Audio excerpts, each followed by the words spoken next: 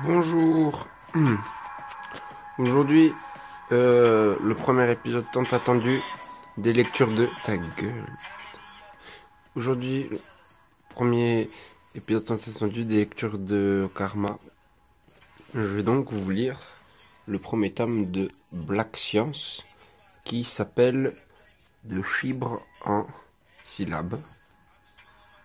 Je crois, avec la nouvelle réforme de l'orthographe. Vous êtes prêts?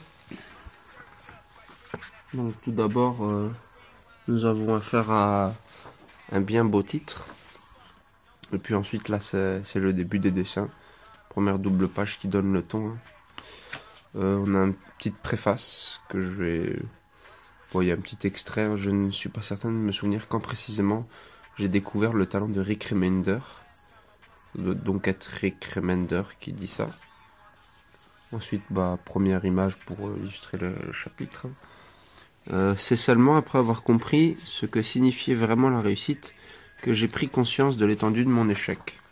Il y a donc un gros éclair rouge, rose, rouge.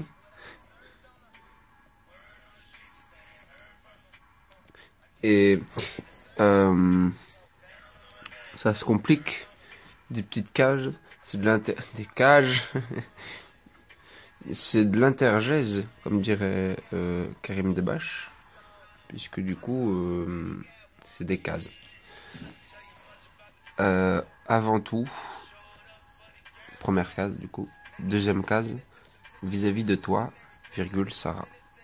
Sarah sans H, puisque c'est une pratique chez les, les Inuits, hein, comme le dit très bien le livre de Jean-Michel Moncu tout le monde se branle, c'est le titre du livre tout le monde s'en branle.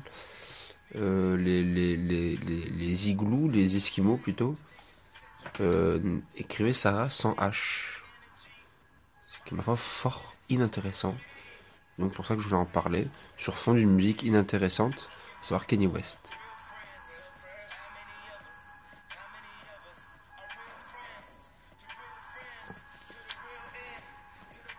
Euh, ensuite, on a donc les héros qui sont en PLS. Ça, c'est bien net. Ils ont peut-être fait un score de merde à Mario Maker. Que, sont-ils? Cours. Oui, donc ils parlent bien de Mario Maker. Ils parlent des Goombas. Hein. Goomba. Hum, j'ai toujours pas compris cette blague.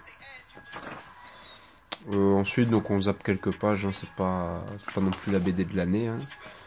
Euh, très succinctement, euh, la, dernière case. Si on peut prendre un exemple. Hein.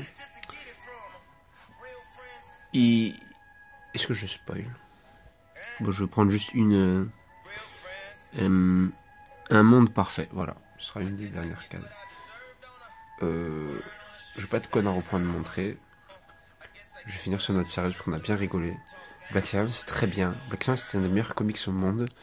Juste, ça, c'est juste une couverture. Et ça te viole déjà ton anus. Ça te viole déjà ton crâne.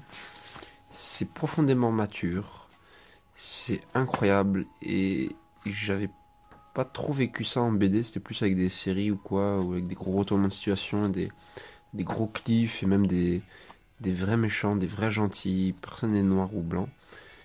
Et personne n'est noir, surtout, ce qui est pas mal. Et là, en fait, ça fait bien plaise. Parce que c'est de la BD vraiment qui fait pas juste de la BD. Le mec va un peu plus loin que ça. Euh, c'est un peu dommage. Personne n'en parle du coup de cette BD. Je fais un topic. Euh, même Argo, il a pas posté dessus.